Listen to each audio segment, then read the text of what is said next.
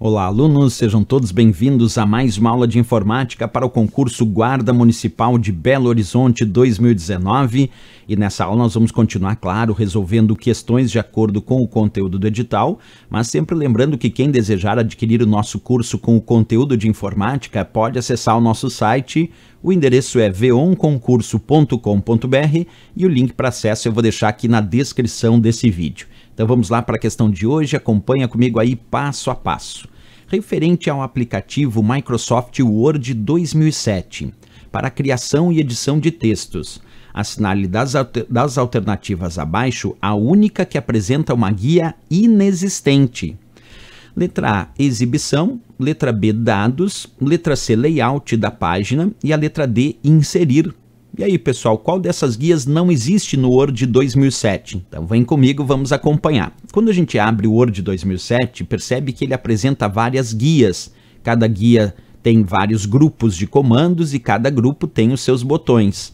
Mas quando a gente amplia aqui para visualizar quais são as guias do Word 2007, percebe que nós temos a guia Início, a guia Inserir, a guia Layout da página, a guia Referências, a guia Correspondências, a guia revisão e a guia exibição. Percebe que voltando lá para a questão, nós temos a guia exibição, ela está aparecendo ali, a última guia. Nós temos a guia layout da página, observa para alterar as configurações de página. Temos também a guia inserir, observa comigo ali para inserir vários tipos de objetos, como cliparts, como imagens e tanto outros recursos, como tabelas, nós podemos inserir através da guia inserir. Mas percebe que nós não temos o indicativo da guia dados da letra B, essa não tem. Mas, professor, não existe a guia dados no Word? Não, no Word não temos a guia dados. Mas observa que quando a gente acessa o Excel 2007, as guias do Excel 2007 são guia início, inserir layout da página, fórmulas, dados, revisão e exibição. Na verdade, a guia dados é do Excel. Percebe? Do Excel 2007 nós temos a guia dados, mas no Word não temos.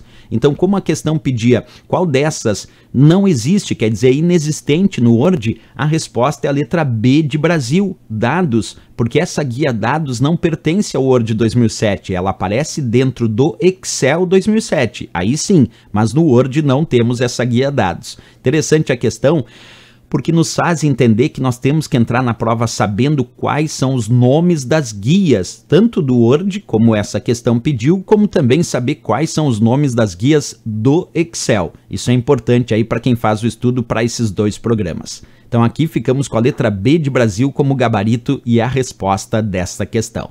Certo, pessoal? Era isso então, mais uma questão resolvida. E se gostou do nosso vídeo, não esquece, marca um gostei e também se inscreve aqui no nosso canal. E não esquece de ativar aquele sininho para receber as notificações de novas publicações. Valeu, até a próxima, grande abraço e bons estudos!